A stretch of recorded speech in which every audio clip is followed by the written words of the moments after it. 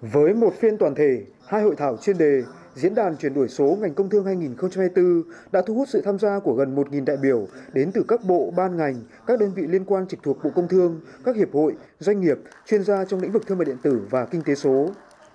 Với chủ đề thúc đẩy chuyển đổi số, chuyển đổi xanh hướng tới phát triển bền vững, các chuyên gia đã tập trung chia sẻ, thảo luận các nội dung bao gồm các xu hướng ứng dụng công nghệ trong chuyển đổi số ngành công thương, giải pháp đẩy mạnh chính phủ điện tử, phát triển kinh tế số ngành năng lượng, sản xuất thông minh, thương mại điện tử, logistics, xây dựng thị trường thương mại điện tử bền vững, thu hẹp khoảng cách số, tăng tính liên kết vùng, chú trọng đến yếu tố môi trường, vân vân.